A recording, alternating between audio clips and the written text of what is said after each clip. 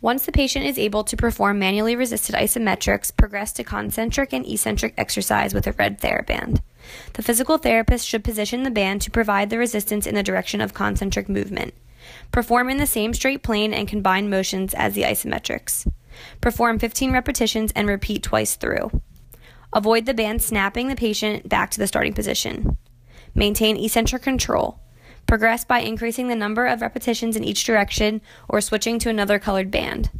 Regress by tying a loop in the band for the foot to lessen the resistance.